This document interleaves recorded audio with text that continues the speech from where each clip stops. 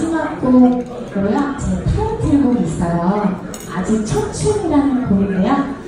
가사가 건강하게, 젊게, 건강 챙겨서 그렇게 살자라는 뜻이에요. 가사가 굉장히 좋으니까 여러분들 함께 즐겨주시면 감사하겠습니다. 저 여왕은요, 아직 청춘 들려드리고 인사드릴게요. 건강하세요. 감사합니다.